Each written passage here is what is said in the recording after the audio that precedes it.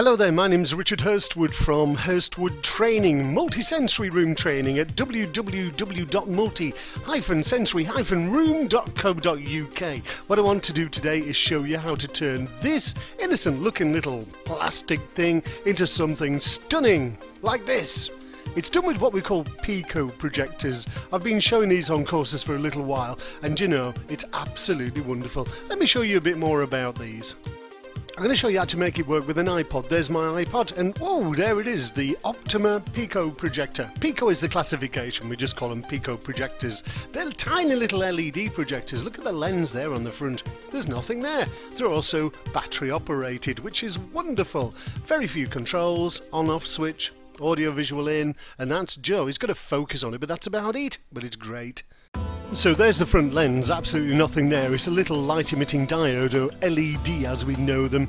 On that side you can see the focus on the right hand side. No keystone for those technical people. You AV in, in other words you plug from your iPod or your PC goes into that socket on the left. On the other side of it you've got a dual on switch. You've got to switch it on once, it goes dual, switch it on again, it goes to full brightness. And you've got a USB power supply which comes with the unit so you can run it from mains if you want to. So the effect we're after is this. Nothing plugged into it at the moment, so you're just getting the splash screen, but that's it. Totally portable projection. For all the techie people, these are RCA connectors to take you to a composite video out. There's the little jack specially made for the projector, goes into the side, and then you need to get a lead from your PC, or in my case, here is the lovely little lead I got from Apple to plug in my iPod.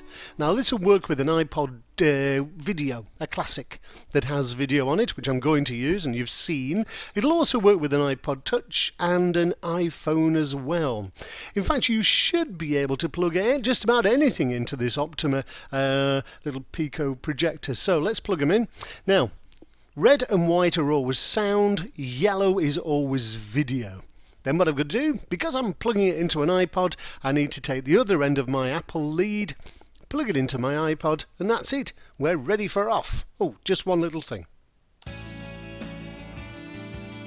You need to set your iPod up. So, you see there I'm in settings and it says TV out and up there it says off. Now what you need to do is go TV out, it says ask or on, so off, ask or on. I put mine to ask. In other words, the iPod, when I play a video, is going to say, do you want the signal to go out of the iPod or do you want to play it on the screen? So look, do you want to enable TV out? And I've just flicked it to on on the scroll wheel there. Sorry it's a bit out of focus, but that's how you do it. And now when you press play, nothing will appear on the iPod screen, but it'll be on the data projector. In other words, the Pico projector.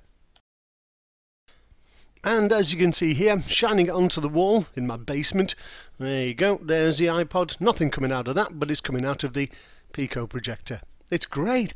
I'm just projecting up a, uh, a little clip from a, uh, a thing called Fish, from a website called iloaded.com iloaded.com and this is a freebie that you can download. It's wonderful.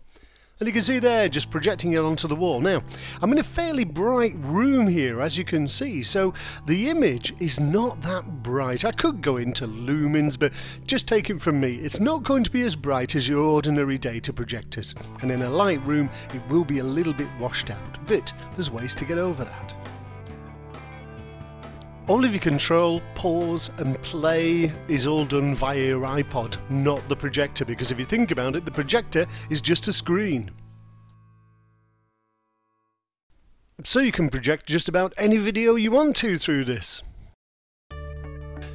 One of the great things about little projectors like this is that you can handhold them. So I'm just holding it here onto the side of a lamp from IKEA. You know, I'll put my hand in and you'll see what sort of size it actually is. But you know, if you project onto different surfaces, it'll make the video projection so much more interesting. One little problem with this, and that is that when you handhold it, it's very hard to keep it still. Here I'm handholding in a darker environment, spin it round. You can do all sorts with this, but maybe you want it to be a little more steady. Here's how to do it. The Pico comes with this little gadget on the right. What you do is turn the projector over like this, and then screw this into the bottom of the projector just by the battery compartment.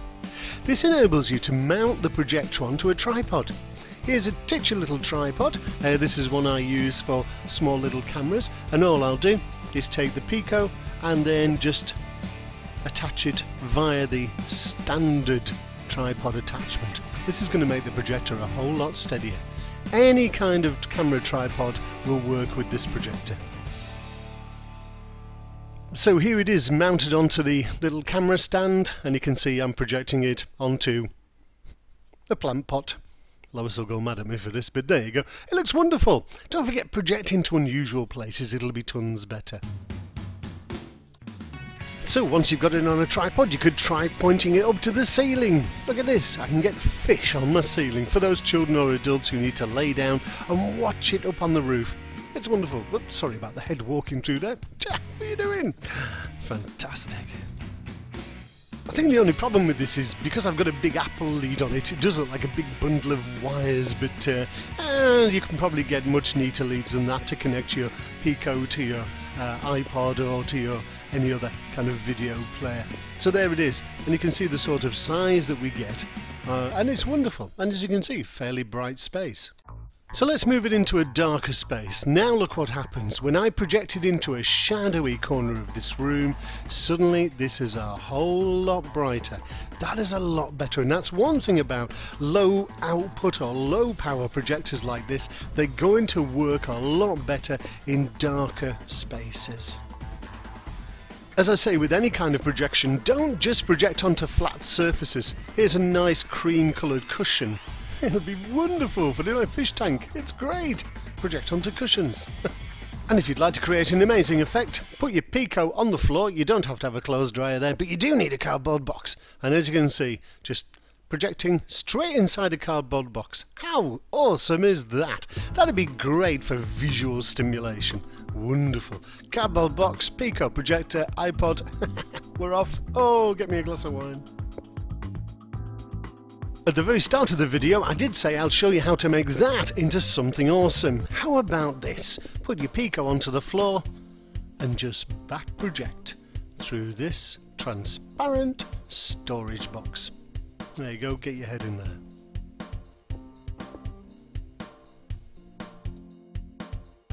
Amazing video effects with a transparent storage box. The only drawback to this system is that the sound that comes out of it can only be described as dire. What you need to do is plug a pair of computer speakers into your iPod if you're going to use your iPod or into your computer if you're going to use a computer. So the Pico projectors, you're going to see a lot more of these over the next couple of years. They're battery operated. This particular one, this Optoma has two batteries with it and you can run it from mains as well. Pico projectors, they're cheap, give it a go.